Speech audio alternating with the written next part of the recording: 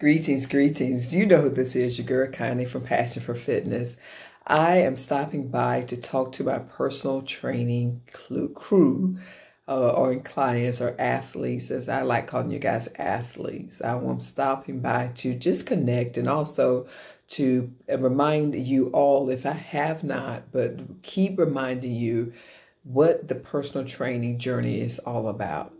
And I want to go over a few things that I have typed down to remind myself to go over. If that at this point you have been training with me, personal training with me, and you pretty much know how I flow. Uh, many of you guys have been extremely consistent, showing up and showing out, doing everything I have asked you to do, As far as being um, with your training. What I want to focus on in this video is focusing on what you need to be mindful of and understand what I'm asking you to do outside of your training. And the first thing I want to start off with is helping you understand the importance of your responsibility as my client, as an athlete, and also as one who want to see changes and a transformation in your body. You want it and I want it for you. But let me just bring something to your attention. If you train with me two days per week, 30 minutes each time, that's one hour. Now, for an entire week, there's a total of 168 hours in a week. You're only with me for one hour. That means, in essence and in short, 167 hours is where you have to keep yourself accountable in doing what you need to do to see the progress. You only see me for a very minuscule, small amount of time out of a week. It doesn't mean I'm not here to help you in any way I can, as far as accountability. If you need to chat, vent, ask questions, I'm always here. But I'm not with you in your living room or your kitchen when you're deciding what you're going to do regarding your eating, your working out, and how you're working out. Now, make sure you wrap your mind around that and understand your responsibility to do what you need to do when you're not in my presence. It's a partnership. Next, I want to talk about as your workouts.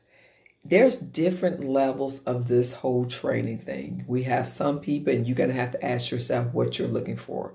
We have some people who are looking for a complete transformation.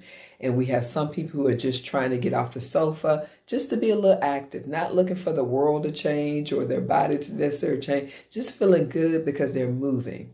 Wherever you happen to fall into line with that will determine how you proceed when you're not present with me.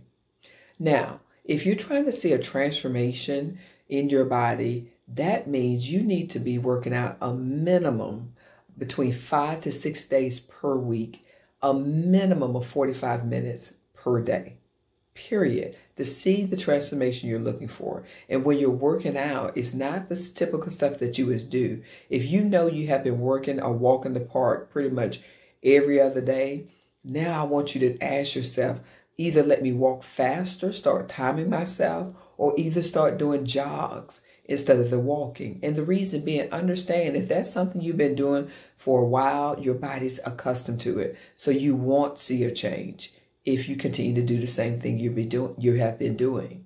So keep that in mind. You need to be working out five to six days per week, and many of you guys are looking for a transformation. So for this video, I'm just going to focus on if you're looking for a transformation. If you're not, just be active every day. Even if it's just 30 minutes, be active and moving. Keep in mind, too, that over this past year, we have been doing so much less moving around, less shopping, less traveling because of the pandemic. That why is it so important even now. If you can do more than 45 minutes per day, do more just to compensate for us less would compensate for us moving even less and sitting at these desks all day working more than we ever have before. Your body was designed to move. And if it's not moving, you're not burning the calories you need to see to see the results. Keep that all in mind. Your workouts. Well, what I should be doing kind of when I'm not training with you. You have a lot of options. One, you can come join me for a class. Switch it up. I have a lot of clients who are personal training with me, but also do my classes to keep them accountable. So feel free to drop in. You can try any class on the schedule for free. I would love to have you. Once you figure out that's something that you want to roll with, then just sign up for that piece of it. You can purchase per class or membership. They work hand in hand. Another option you have, if you did your downloading of your app, you guys have workouts that are programmed in your app or on your portal that you can do right at your right in the comfort of your home or garage. That's another option. Number three, you can actually just use some of my videos. I have a lot of videos that I have as recap videos of previous classes that you can just pull up on YouTube and be active. So I'm giving you a load of resources to keep yourself active. Oh, and lastly, take what we're doing in training sessions and repeat it two days later on your own. If you can recall, whatever I'm doing, you are showing you. If I'm doing you a circuit, set yourself up at home and do that same circuit or either something similar to it. So take what you're learning with me and make it your own at home. So I done gave you many options to get your workouts in. Now it's up to you to get it done. Remember that. Now we're going to move on to eating. Eating, I suggest, and everyone who personal train with me will have the option of getting a suggested meal plan. If you would like to have one, you just let me know. If you decided to eat your own thing, I don't recommend that, especially if you're trying to lose weight or do a transformation. I recommend you utilizing one of my meal plans because I have more control of it and it's more designated or designed for having a balanced meal. Not just not having a, not just about the calories, but putting the right food combinations together to make you feel less hungry, less tired because you can be eating your calorie I calories I suggested, but then feel tired because maybe you're not putting the right foods, carbs and proteins in the right combinations to make you feel energized, um, feeling so much better than you would if you don't follow the meal plan. So that's something to think about. Next, your daily calorie intake. It is valuably important that you understand and know that number.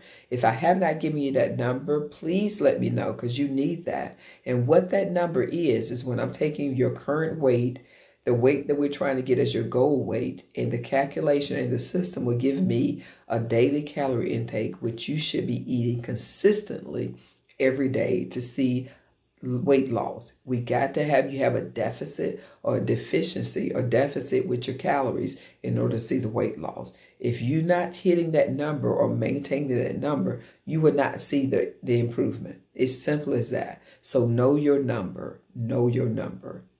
Um, let's see here. I want to also include with you talk to you guys about your vitamins and supplements. I love supplements. If you know you're not one that's going to sit and do it um, a nutritional balanced meal every day, please start thinking about supplements.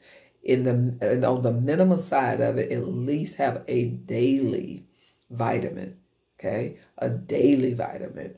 You need to make sure also you're consuming plenty of water. I cannot stress that enough, especially as we begin to get into the summertime. You're going to definitely need even more water, but have it nearby. Uh, drink it religiously. Now, when it comes to your coffee, that caffeine, coffee is not a bad thing. It's us overdoing it. So I have no problem if you're training and you're looking for that transformation to, of course, lower your caffeine intake. But if you want to do one cup of coffee, between one or two cups of coffee per day, um, that is satisfactory and that is acceptable. But anything more than that is not. So be mindful of that.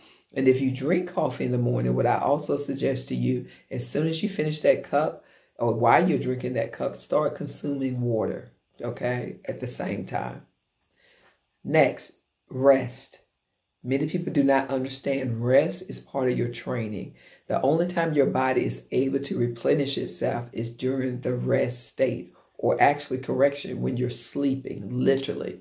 So if you're not getting your sleep and resting, your body is not able to repair itself from your previous workout. So, again, vitally important. I know many of you guys get less than eight hours of sleep per day, and you got to do better than that. Even if you do cat naps throughout the day, a cat nap can be a 20 minute nap, 15 minute nap, just to replenish yourself.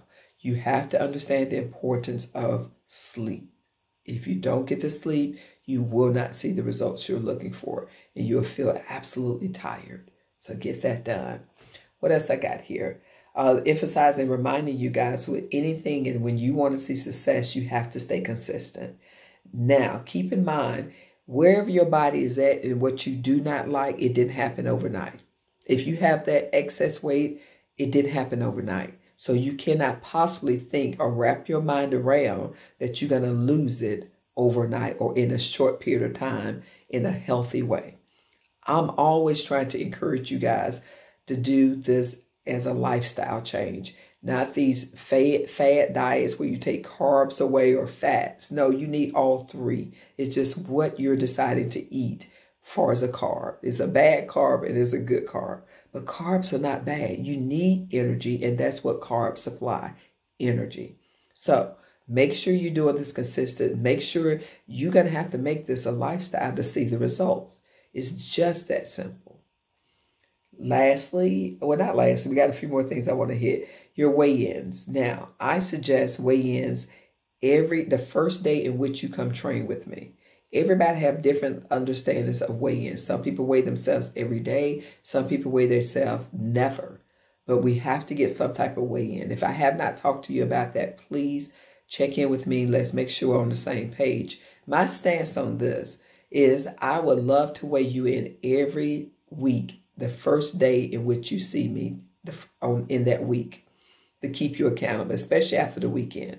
But sometimes what I have noticed as a trainer, it adds so much stress on some people that is not the look I'm looking for. I rather just weigh you every other week or every every no at least every two weeks instead of a week. That's what I'm willing to compromise because unfortunately a lot of people stress about this. And when you stress, you release the wrong chemicals and that too can hold that weight in. So talk to me if we haven't. I think most of you guys are on the weekly weigh-ins your measurements.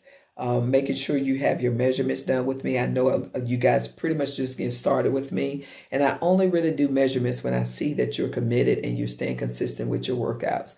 So a few of you guys have been have now recently became that. So you will begin your measurements shortly. And we also have your fitness assessment. Your fitness assessment is the first taken when before you start training with me and then every six weeks. It will show improvements. It will keep us accountable and it'll let us know what we still need to continue to work on or seeing progress in the areas that we're trying to focus on. So every six week, I will keep you keep you updated when your fitness assessment is coming up. Accountability. This is the last piece I want to talk about. Accountability is different for everybody, and all I'm here is to serve you.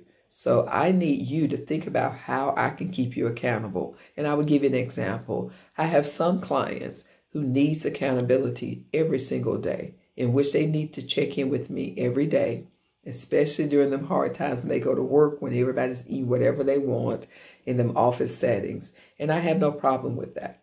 But the key to it, you have to let me know what you need. And you have to, the only person who knows that is you. So be truthful to yourself. If you're struggling, don't wait to the last minute. Talk about talk with me now. If you want that you're good and all you need is a workout plan, your meal plan, and you can handle the rest and you have that discipline, then hey, I'm all for it. I have no problem for you, allowing you to keep that piece of it. But don't feel any type of way if you come to me and you say, look, can I need you to text me or call me every day at this time because this time is what the time I notice I really struggle and eat wrong. If it's late at night, most people do good during the day, but at night they struggle. Well, don't think you're alone. And just because you don't see me in your face right there doesn't mean I'm not here for you. I do not just stop being your trainer after you walk out of Passion for Fitness. I continue to be your trainer but you have to talk to me about what your needs are because I want to respect your time and I don't want to be a bugaboo if you don't need me. But I don't have a my, I don't have a problem being a bugaboo if you do need me. So talk to me about it. And we also can set habit goals for you. And habit goals is another tool us trainers use to sort of keep you accountable. A habit goal is something, for example, is that you're gonna drink a certain amount of water each day. So we set them goals and then we'll make sure, keep you accountable for having them goals. It'll be set up in your app just to send you a reminder, even me reminding you on the regular basis, hey, make sure you do such and such. So it's not, fitness is not all about that scale. Fitness is about changing what you have been doing that has not brought good results for you and bringing things that is bringing good results, good habits, taking your daily vitamin, drinking water, getting rest, sleep. These are the things that's going to make you not only look amazing, but feel amazing. So I'm just stopping by to give you all that. Thank you for your time. Do not be surprised as other emails come out or videos come out because I just want to make sure you understand what is what is required of you to see the results. And It is also to give you a chance to make sure you're keeping yourself accountable and doing what you need to do on your on your end. Remember, like I mentioned at the beginning of this video, it's 168 hours in a week. I only see majority of you for one hour. So I need you to help me make you continue to look absolutely amazing and see that transformation that you're wanting to see and that you deserve to see and what you can see. So I'm your biggest cheerleader. I'm here to serve you however I can. So reach out, text, communicate, talk to me. Talk to me. Did I say that? Yeah, talk to me. Until next time, God bless. Continue this journey. This is a lifestyle, not a quick fix. And you got this. Until next time, God bless.